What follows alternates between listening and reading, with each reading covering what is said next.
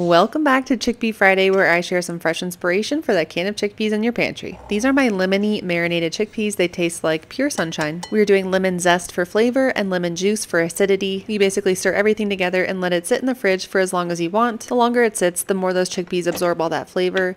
I love to serve this on a bed of whipped feta. This truly makes an amazing appetizer and everything can actually be prepped in advance and then just stored in the fridge until you're ready to assemble. Be sure to follow, I share a new chickpea recipe every Friday. Happy eating!